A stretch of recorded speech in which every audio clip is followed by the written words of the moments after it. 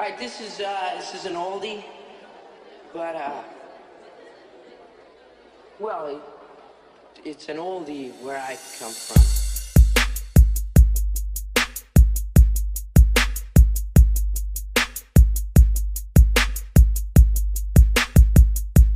Here's an oldie goodie, Dropping classics on that ass.